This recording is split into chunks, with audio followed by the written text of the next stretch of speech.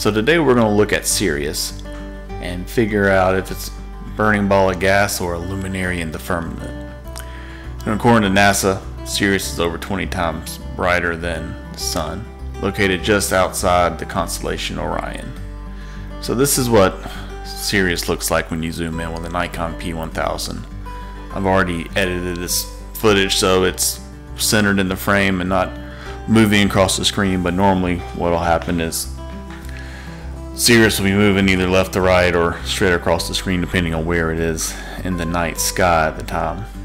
And so one thing you have to be careful about when you see these YouTube videos, in my opinion, on um, zooming on stars is, you know, this is what it looks like by default, the focal range on the Nikon P1000.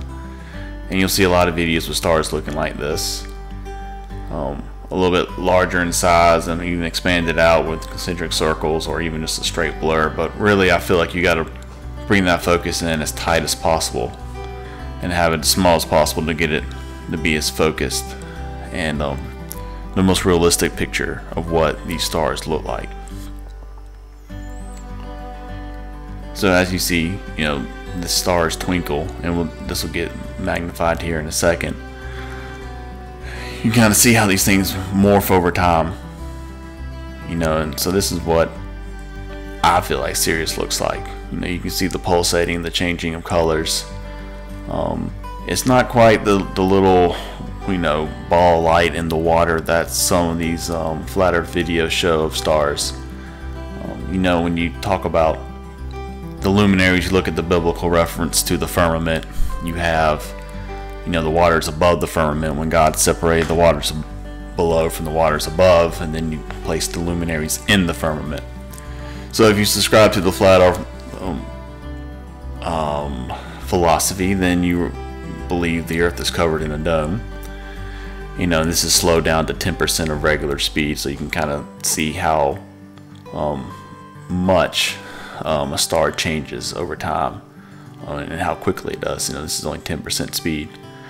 But, you know, these are in some kind of crystalline structure, as the Bible says, then, you know, that could be the causes for the change of shape and light um, from the blues to the reds you know, even the greens over times. Um, you know, is coming through our atmosphere for one, so that's causing some light refraction, but also if it's in some kind of medium, um, whatever that may be, you know, that could be causing the color shifts as well. You know, we just don't know. So it's just interesting to watch it kind of slow down to kind of take in, you know, how that light gets bent and changed and and morphs, and whether or not it's just a pure element of refraction or if there's something else going on with these that we just don't understand or know.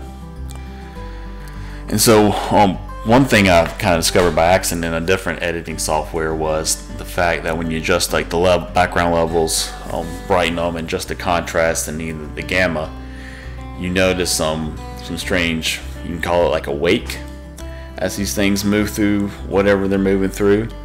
Um, some, some residue, but I mean, there's definitely some disturbance outside the visible uh, light and color that we can see when we zoom in with um, a camera, and obviously when we see with our eyes. But you can kind of see um, whatever these particles or residue or wake is kind of trailing off from the star as it moves across the sky.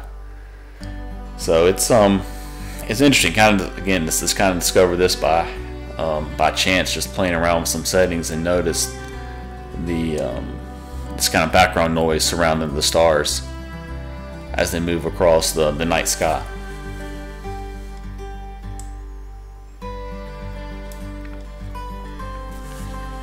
And so coming up, we'll have this kind of broken cross in a, a split screen that kind of shows the original footage and then the zoomed in versions and then the versions that are adjusted for the background contrast. So you can kind of see that this really isn't um, that this disturbance or wake as it moves through the firmament, as I like to believe, then it's kind of isolated to the stars. It's not just you know residual, I don't know whatever you want to call it, radiation that's ever present in the night skies. Really, is just localized to the stars themselves.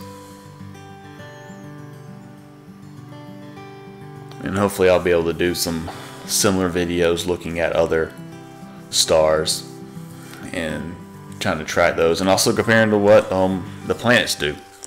You know, I've got some footage of um, Venus and Jupiter.